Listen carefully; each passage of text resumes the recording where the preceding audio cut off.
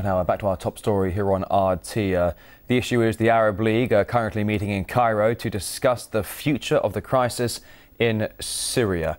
Uh, we are we are hearing that uh, the reports of escalating violence all across the country, and let's uh, discuss this further with uh, Dr. Adel Samara, now joining us live from Ramallah.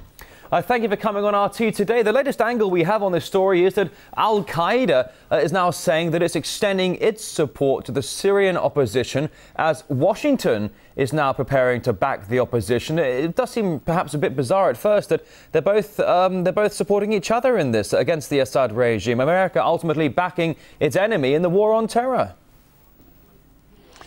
Uh, I don't think that Al Qaeda is too far from the United States politics in the region all over all, or all over the, the I mean the, the world.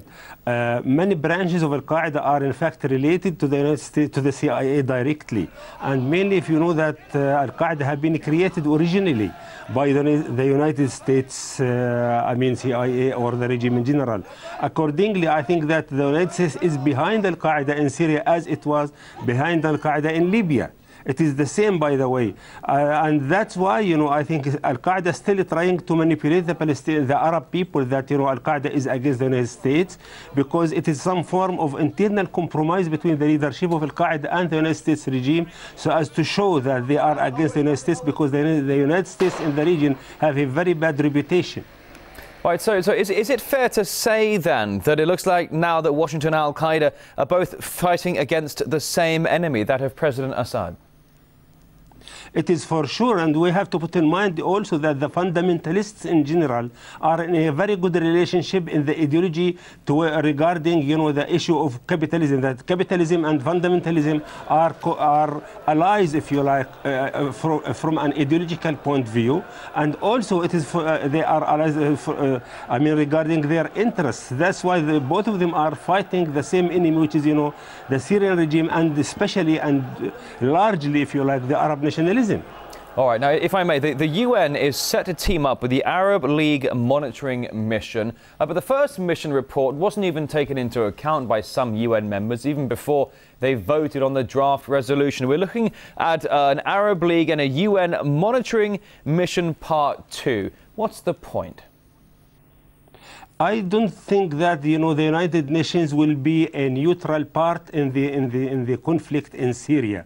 It is the same for the Arab regime. You know that the United Nations is controlled by the imperialist countries, especially the United States, and accordingly, I don't think that you know they will accept its report if the report will be similar to the report which you know produced by the Arab, uh, I mean, uh, people who sent from the Arab League itself directly. And all the people knows, you know, that when the when the Syrian uh, representative in the United Nations asked for al-Dabi to come there to, to, to, to, I mean, to deliver his speech, they, the United Nations did not allow him to come. This means that, you know, they are not neutral in the, in, in the beginning and they will not be neutral uh, later. All right, let's let's just uh, jump in here and, and, and, just shift gears here, if I may. Um, some analysts believe that uh, Washington and its, and its allies want to use this conflict in Syria as a means of targeting Iran and Hezbollah. Do you see any truth in that? Uh, it is not uh, it's not a secret. You know, the, the United States first of all wants to to destroy Syria so as to cut you know, the arch of resistance which started from Tehran to Damascus and also to, to, to, to south of Lebanon. For sure, uh, the, this is the goal, this is the direct goal. And also we have to put in mind that the resistance movement and the, the, the Arab regimes, especially Syria, who are against imperialism in the region, this new current or this new front, if you like, is challenging the traditional front, which is, you know, all Arab regimes who are related and directed and uh, who are play the role of, you know, cliently to the United States or to the imperialism. That's why this new front should be destroyed. And it is not a secret, as I said. Right, Dr. Adel Samara, uh, live in Ramallah. Thank you for joining us on RT today. That's all the time we have for. Thank you.